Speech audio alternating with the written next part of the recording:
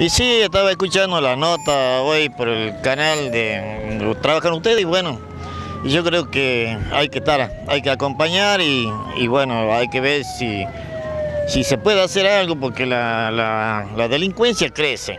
Y bueno, cualquiera puede llegar a tener un caso similar y, y bueno, habría que levantarse y salir y pedir justicia. Tal vez no se pudo hacer en su momento, pero nunca es tarde, ¿no?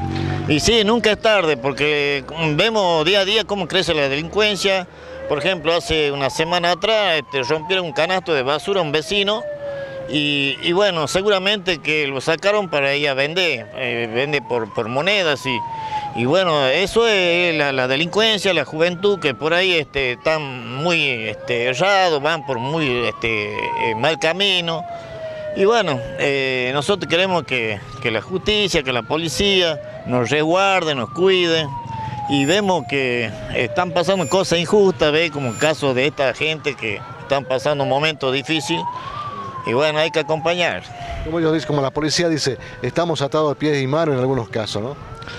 Y sí, la verdad que eh, quizá por ahí la justicia se equivocan, porque deja, por ejemplo, a esta familia eh, destruida, eh, la, chiquita esta que, dice que ha estado este, eh, violada y que no, este, no sé dónde están la gente de la justicia, los derechos humanos.